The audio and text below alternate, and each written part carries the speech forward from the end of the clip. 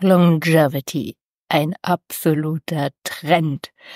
Und der wird insbesondere interessant, wenn wir selber älter werden, weil dann geht es an die Endlichkeit und dann denken wir natürlich darüber nach, wie wäre das denn, wenn wir noch länger leben und wenn wir dabei auch richtig fit und vital sind, weil das beschreibt Longevity. Es geht eben nicht nur darum, besonders lang zu leben, sondern eben auch eine Health Span zu haben, die lebenswert ist, eine hohe Lebensqualität hat.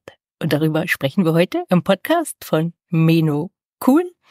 Und ich freue mich sehr darauf. Und wo ich mich auch drauf freue, die FIBO, die rückt immer näher. Da bin ich als Speakerin unterwegs, halte Vorträge, gebe auch Yoga-Lessons und auch Live-Cooking. Es gibt auch Webdinners für Ladies, also ganz spannende Sachen. Ich verlinke das in den Show Notes, da kannst du dann auf jeden Fall mal schauen, auch wenn du ein Ticket haben möchtest.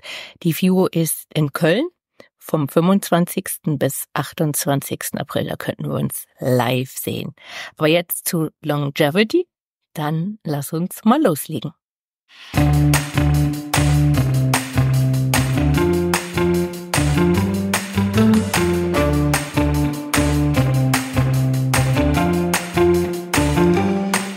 Mit 80 oder 100 sogar noch fit sein und mitten im Leben stehen, das wünschen sich viele Menschen. Die schlechte Nachricht, wer lange lebt, bleibt aktuell selten im Alter dauerhaft gesund. Die gute Nachricht, mit einer verantwortungsvollen Ernährung und einem aktiven Leben lässt sich die Chance auf ein langes, gesundes Leben, auch Longevity genannt, signifikant erhöhen. Das englische Wort Longevity, das leitet sich übrigens aus dem Lateinischen ab. Longus bedeutet lang und vita das Leben. Und so lässt sich Longevity mit Langlebigkeit übersetzen. Und es geht dabei nicht darum, möglichst, oder beziehungsweise es geht nicht nur darum, möglichst alt zu werden, sondern eher um die Lebensqualität, um die sogenannte Health Span. Der Nobelpreisträger Alex Carey beschrieb das so, Langlebigkeit ist nur erstrebenswert, wenn sie das Jungsein verlängert nicht aber das Altsein hinauszieht. Ganz spannend dabei, äh, wenn wir mal auf die blauen Zonen blicken, vielleicht hast du davon schon mal gehört oder es gibt bei Netflix auch eine Serie darüber, es gibt auch Bücher dazu. Und zwar ist es so, dass die Gene für unsere individuelle Lebenserwartung anscheinend nur eine untergeordnete Rolle spielen, beziehungsweise nicht nur anscheinend, die spielen eine untergeordnete Rolle. Und nur ein Viertel der Lebenserwartung ist nämlich genetisch bedingt.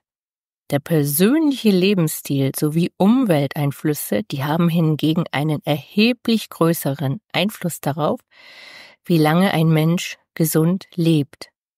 Und Anhaltspunkte dafür liefern die eben schon ange äh, erwähnten blauen Zonen der Erden. Das sind Rego Regionen wie Okinawa in Japan oder Sardinien in Italien, wo die Menschen tendenziell länger leben und gesünder altern. Sie vereinen bestimmte Lebensmerkmale. Dazu gehören eine pflanzenbasierte Ernährung, mäßige Kalorienzufuhr, regelmäßige Bewegung und soziale Aktivitäten. Doch ihr Vorteil wird allerdings in dem Maße kleiner, wie die Ernährung auch dort ungesünder wird.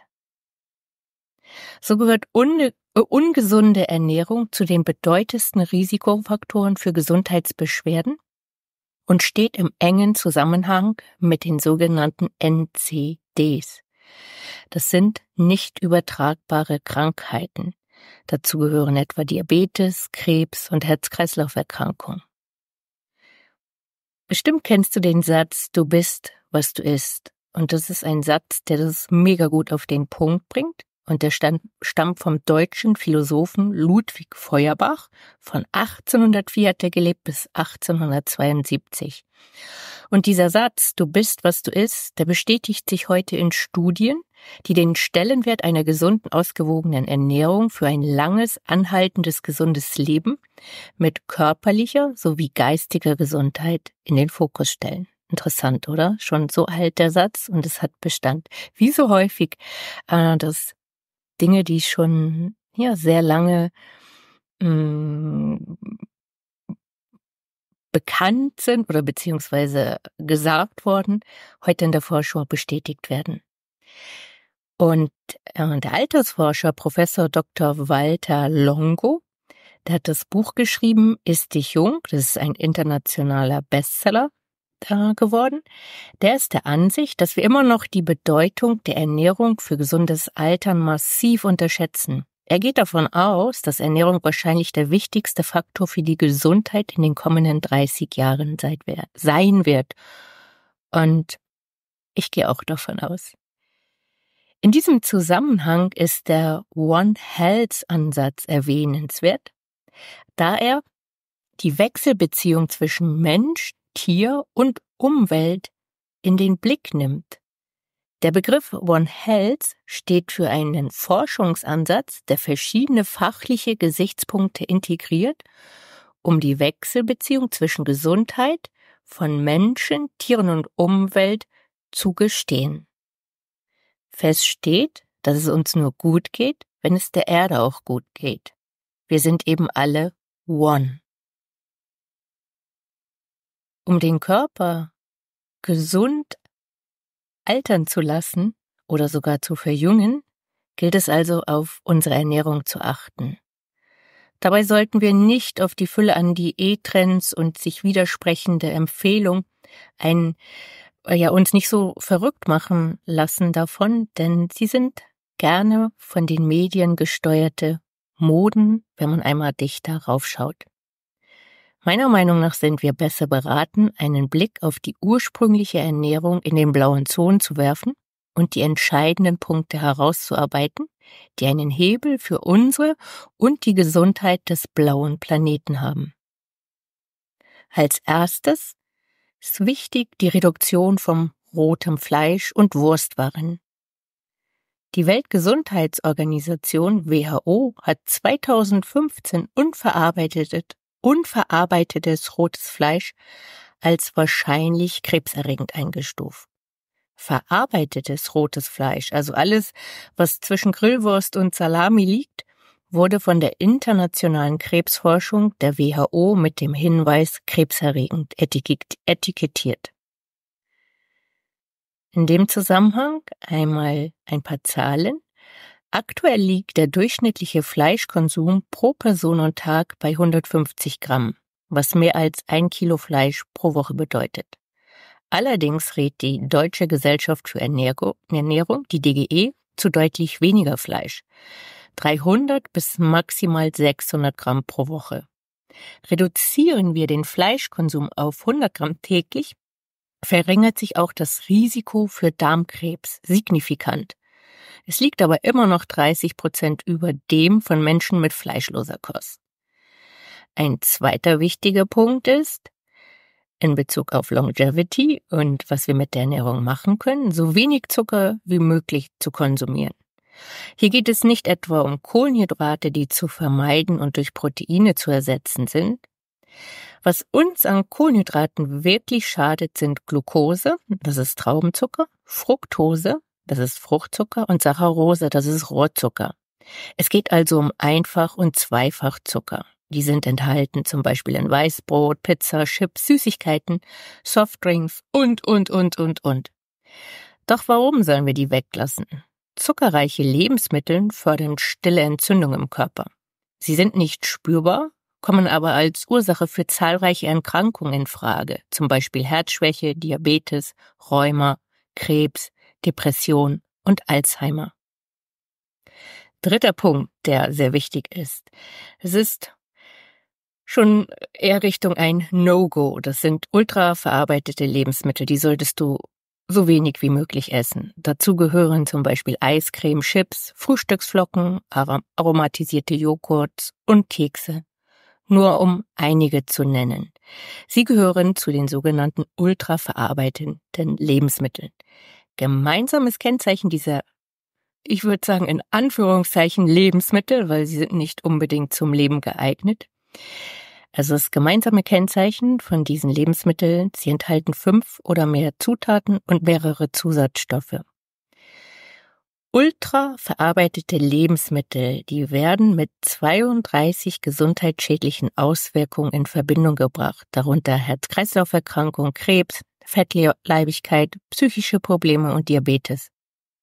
Die Forschung geht heute davon aus, dass eine Ernährung mit einem hohen Anteil an ultraverarbeiteten Lebensmittel, die übrigens UPF abgekürzt wird, für die meisten, wenn nicht sogar für alle, alle unsere Körpersysteme schädlich sind. Davon geht man aus. Es scheint auch so zu sein, dass wir Menschen sie nicht, wir uns nicht vollständig an diese Produkte anpassen können. Das Problem diese Lebensmittel werden weit, weltweit immer mehr Bestandteil der Ernährung und machen etwa in den USA und in den Vereinigten Königreich mehr als die Hälfte des täglichen Kalor der täglichen Kalorienzufuhr aus. Also richtig, richtig viel. Und eine kleine Anmerkung hier noch. Die Lancet-Kommission, das ist ein Format aus internationalen Experten und Experten zu verschiedenen Forschungsthemen, die Lancet-Kommission, die beschreibt Adipositas, also Übergewicht, Unterernährung und Klimawandel als eine globale Syndemie. Und sie meint damit die Synergie der drei Pandemien, die weltweit, weltweit zeitlich und örtlich zusammenhängen, auftreten, interagieren und komplexe Folgen als auch gemeinsame Gründe haben. Und die ultrahoch verarbeiteten Lebensmittel sind eine der wichtigsten Ursachen dafür. Also, es geht um unsere Gesundheit und auch um die unserer Erde. Der vierte und letzte Punkt, den ich hier anführen möchte, es gibt natürlich noch einige, aber ich finde den vierten jetzt hier noch sehr wichtig, ist Kalorien zu reduzieren. Weniger ist oftmals mehr, auch beim Essen. Wer weniger isst, tut seiner Gesundheit Gutes und kann damit seine Lebenserwartung erhöhen. Dass gedrosselte Energie äh, Kalorienzufuhr gesund ist, wurde bereits an Fischen, Fliegen, Würmern, Mäusen und Hunden nachgewiesen. US-amerikanische Studien zeigen, dass es auch für den Menschen gilt. Was passiert, wenn wir weniger Kalorien zu uns nehmen? Eine kalorienarme Ernährung verlangsamt den Stoffwechsel und macht ihn damit effizienter, was wiederum sich positiv auf die Zellen und in der weiteren Folge auf die Organe auswirkt. Dadurch steht mehr Energie zur Verfügung für andere Aufgaben in der Zelle, sowie etwa Reparaturmechanismen, die sonst eben nicht zur Verfügung steht, die Energie. Wenn wir halt zu viele Kalorien essen und in ähm, unserer Welt, also wo wir halt äh, genügend Lebensmittel zur Verfügung haben, essen wir im Durchschnitt zu viel Kalorien, also viel mehr als wir brauchen. Wenn man den Durchschnitt nimmt, sind es pro Tag ungefähr äh, Zahlen sagen, dass es 300, 350 Kalorien pro Tag sind im Durchschnitt. Also eh, dass wir die zu viel essen.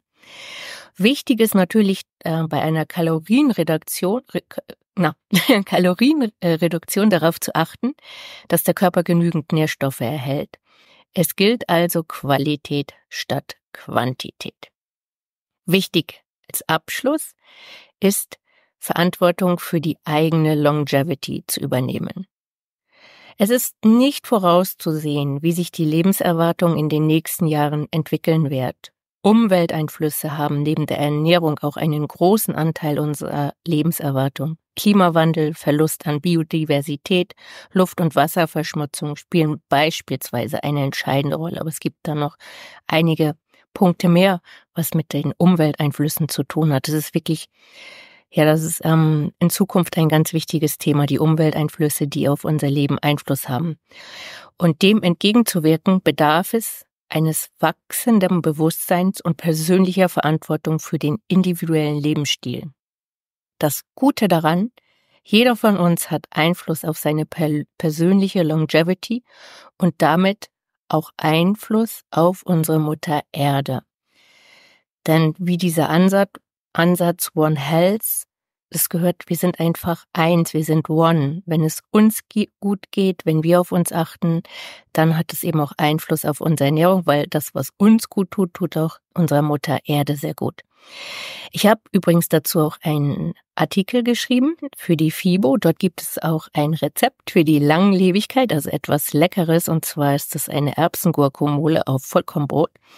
Und die ist mega vollgestopft mit Spermidin. Das ist ein Anti-Aging-Werkstoff, der unsere Zellen gesund hält und als eine vielversprechende Strategie für gesunden Altern gilt. Also wenn du ähm, nochmal lesen möchtest und das Rezept haben möchtest, was so easy ist und es ist so lecker, dann schau unbedingt in die Shownotes, weil da verlinke ich dann einmal zu dem Artikel mit dem Rezept und auch auf die FIBO, wo du dir Tickets besorgen kannst und dann siehst du auch, ah, was dort alles für tolle Programmpunkte sind, äh, was dich in Köln erwartet und auch wo du mich treffen kannst. Dann hab einen wunderbaren Tag, Abend, Morgen, wann auch immer du hier zuhörst. Ich schicke ganz liebe Grüße vom Zürichsee und sage stay healthy, stay cool. Tschüss.